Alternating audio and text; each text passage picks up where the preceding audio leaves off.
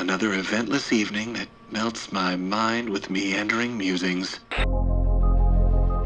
We all deal with choices every day. Selecting snacks, picking flicks, tuning that dial to a rockin' radio station.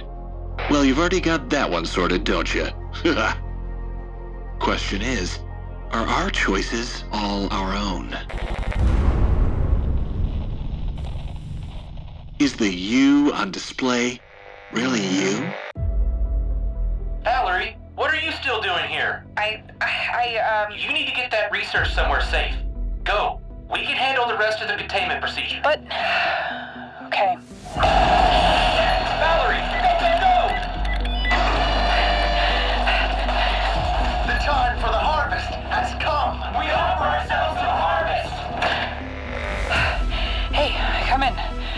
I made it out of the central lab, and I'm in a room nearby. Can you just, I, I just need to get out of here. There's an, um, animal on the loose. Those monsters must have let it out because I can hear it prowling around. And I think those cultists just restored full power to the facility to encourage it to, uh, well, hunt.